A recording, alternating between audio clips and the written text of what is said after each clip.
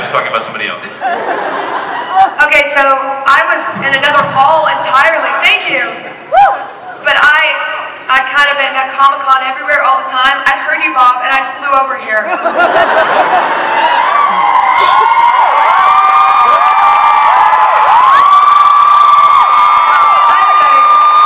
And Bob, I, I don't have a lot of power in the world, but um, at Comic Con a little bit, and I think you might have a cosplay Deadpool take you out later in the bathroom.